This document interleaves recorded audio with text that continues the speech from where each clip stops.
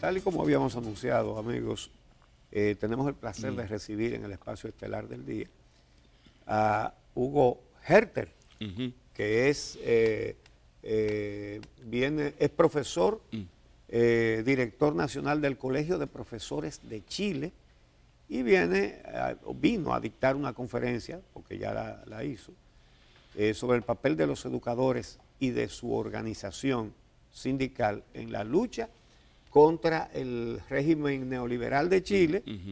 Eh, eh, es decir, él es mm, mm. un gremialista del, profesorado de Chile. ¿verdad? Bueno, eh, bienvenido al país y quizás sería bueno comenzar, me imagino que está al tanto de las pruebas PISA y, nos, y nos cuente cómo quedó Chile.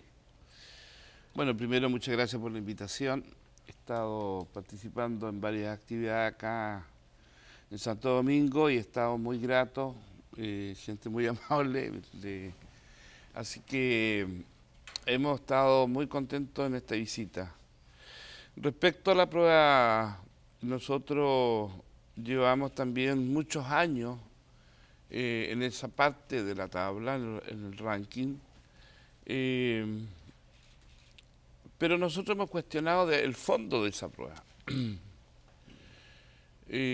A nosotros nos parece de que la estandarización como método para evaluar procesos educativos tan disímiles en América Latina, con procesos heterogéneos, con diversidades geográficas, étnicas, culturales, eh, no nos parece como una medida adecuada de, la educación en general.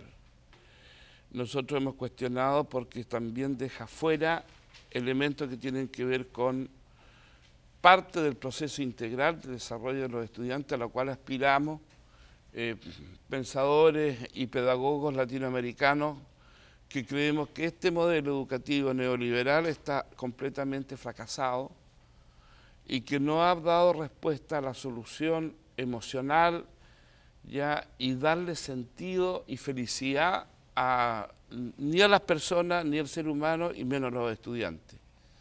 Hoy día nosotros tenemos problemas existenciales muy fuertes en los, en los jóvenes, en los estudiantes, problemas de sentido de vida, problemas de orientación, problemas de comunicación. La violencia en las comunidades escolares tiende a crecer.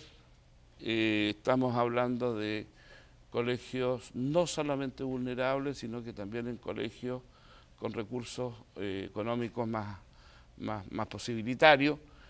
Y esa realidad que se, que se describe en Latinoamérica en general, con esa dificultad que se dice de que los niños y los jóvenes no quieren motivarse por la educación, más bien responde, ¿no es cierto?, a un sistema y un enfoque tanto curricular como evaluativo, y con metodologías pedagógicas que está completamente obsoleto y que tiene que modificarse. El desarrollo de una educación integral no solamente tiene que contemplar las cuestiones cognitivas, que hoy día son fuertemente valoradas, es decir, la lectoescritura, el cálculo matemático, horarios sobre recargados en los colegios. En Chile, por ejemplo, hay siete horas de matemática versus una hora de orientación donde el proceso hoy día tiene que ser a la inversa. El proceso tiene que ver con hoy día con que tenemos que desarrollar integralmente a los estudiantes también desde la emocionalidad, desde la poesía, desde el arte, desde la música, las expresiones eh, eh, de relaciones humanas, la comunicación, ya habilidades sociales todo ese tema que hoy día está ajeno en los colegios por priorizar, ¿no es cierto?, un tipo de educación que tiene que ver con un aparato eh, productivo, con una ideología de la productividad, con una ideología de que nosotros tenemos que educar para que salgan jóvenes productivos a la sociedad. Ahora, aunque eh, sea cuestionable el sistema de evaluación, bueno, es un sistema de evaluación. Eh, es evidente que, por ejemplo, la República Dominicana, que quedó última en matemáticas y en ciencia y penúltima en lectura, no tiene motivo para celebrar.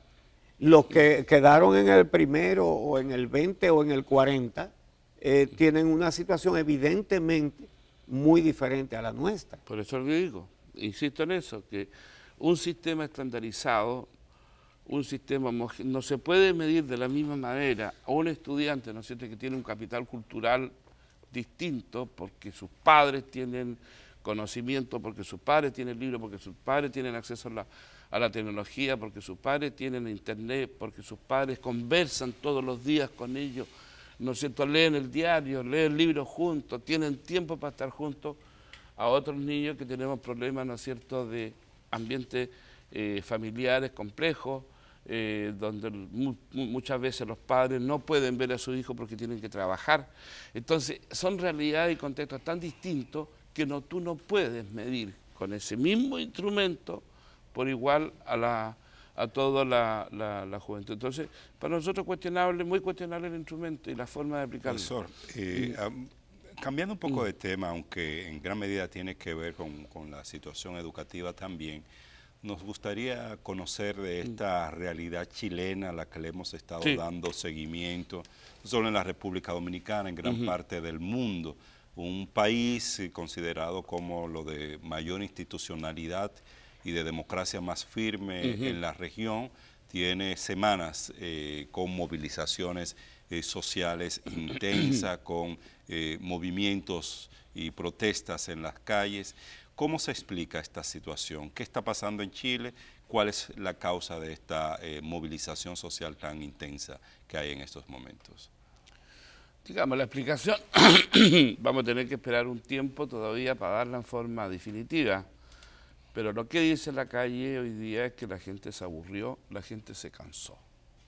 Se cansó de tanto maltrato, de tanta explotación, de tanta injusticia, de tanta violencia, de, tener un sistema de vida sin sentido absolutamente eh, entregado a un proceso productivo, lo que decía también en la educación, que se repite a nivel social, donde la gente se levanta a las 5 de la mañana, tiene que andar dos horas en buses, ¿no es cierto?, para poder llegar a su trabajo, ya trabaja todo el día, no ve a sus hijos y llega en la noche cuando sus hijos están durmiendo y al otro día hacer la misma función, llega un momento que la gente ya dice, no más, no más, yo no quiero más esta, este, esta situación de vida, vivo endeudada, claro, tengo casa, tengo auto, pero se lo debo al banco. Eh, entonces, claro, yo trabajo para producir eh, tengo ciertas comodidades, pero no las puedo aprovechar porque, porque en qué tiempo, porque tengo que estar trabajando para pagarle al banco, pagar mis deudas. Entonces, esta, esa situación la gente se cansó. Y de un día para otro la gente dijo, no queremos más, no queremos más. Los estudiantes también empezaron a sentirse eh, eh, ¿cómo se llama?, representados por sus padres. Eh, ellos vivieron la experiencia de sus padres, por lo tanto ellos salieron a la calle en defensa de sus padres, a reclamar por sus padres, porque sus padres como trabajan no pueden hacerlo, entonces salen ellos. Eh, y la sociedad un día despertó y se fue a la calle. Y se fueron grupos inorgánicos, no hay organización, gente común y corriente como nosotros ya y, está cuarenta y tantos días en la calle y ahí están todos los días pidiendo cambios estructurales al sistema neoliberal, un sistema asfixiante, un sistema que la gente ya no lo quiere más, un sistema que te hace jubilar, ¿no es cierto?, con un tercio de tu sueldo, después que has dado 30, 35 años de trabajo, mientras las AFP, que se llaman las la aquí, también. de fondos de y, y, la situación eh, es así mismo. Ganan millones y millones de dólares aquí es peor. años tras año y un jubilado en Chile no puede vivir con la pensión que recibe. Entonces tiene que salir a la calle nuevamente ese jubilado a buscar trabajo. Hemos tenido profesores en la calle, nos hemos encontrado y han hecho reportajes en la televisión, profesores pidiendo plata después de jubilados. Esa es la realidad que hemos vivido mucho en Chile. Y la gente dijo, no queremos vivir más esto. ¿Hasta cuándo? ¿Hasta cuándo tanto abuso? Concentramos, el 1% del país concentra, ¿no es cierto?, el 26 y tanto, 23 y tanto por ciento de la riqueza. Es un nivel de desigualdad máximo. Es cierto que el sistema funciona. Me preguntaban ayer, Pero bueno, allá la cosa funciona, hay cosas. Sí, pero funciona para unos pocos. Un pequeño porcentaje de la población funciona. La gran mayoría tiene que pelar el ajo, como decimos en Chile. Mm. Tiene que pelar el ajo, tiene que trabajar de sol a sol. Ya, claro, tú vas a su casa, a lo mejor vas a encontrar un televisor, vas a encontrar un auto, vas a encontrar todo eso, pero ¿a qué costo? Ese es el tema. ¿A qué costo se obtuvo todo eso? Hubo que sacrificar la familia, hubo que sacrificar los hijos, se abandonaron a los hijos. Hoy día un grave problema que tiene en Chile la juventud. La gran discusión hoy día en la sociedad en Chile es la delincuencia. ¿Y por qué tanto delincuente? Porque no, no, hay, no hay posibilidad de ambientes eh, familiares, ni las escuelas dan solución a ese problema, ni las familias han podido, ni los barrios, porque los barrios no se pueden constituir porque la gente ni se ve, ni se ve.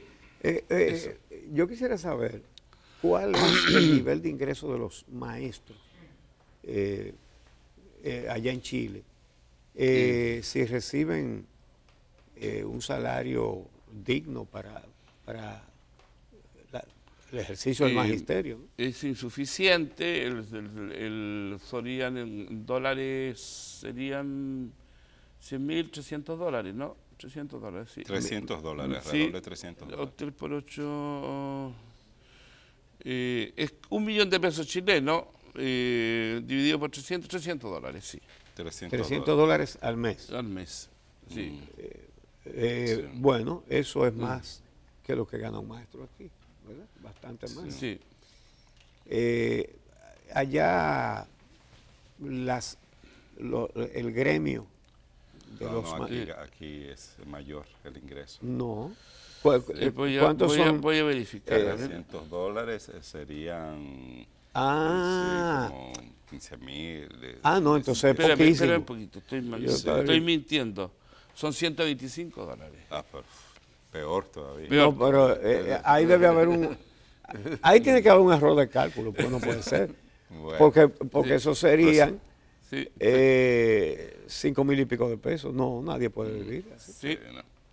Eh, bueno, ya se nos, eh, se nos acabó el tiempo, profesor, de la entrevista. ¿Tiene alguna otra actividad de que estará desarrollando aquí en el país? Eh, vamos a estar en ese acto el día mm, de mañana, día viernes, en la en el Parque Independencia, Independencia, que es la concentración. La concentración, sí, y vamos a Por el clima y por Chile, además. Sí, sí, A partir de las 3 de la tarde.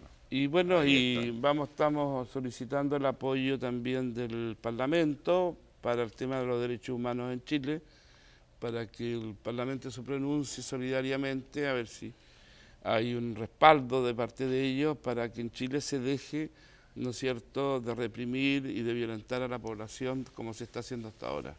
Bueno, de una manera muy eh, horrorosa, mm. diría yo. muchas, gracias, profesor. a Hugo Herter. Vamos a hacer una pausa y en un momentito regresamos. Sí para hablar con visión mundial, eh, específicamente sobre una campaña a favor de la protección y educación de los niños en comunidades vulnerables. Regresamos en un momento.